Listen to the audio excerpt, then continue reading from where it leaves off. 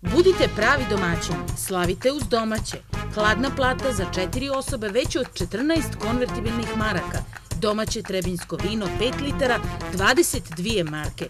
pilički sir torotan, 15 konvertibilnih maraka po kilogramu. I najbolji pršut i rakija na svijetu. Što je dobro bogovima, ne valja volovima. Vaša tradicija.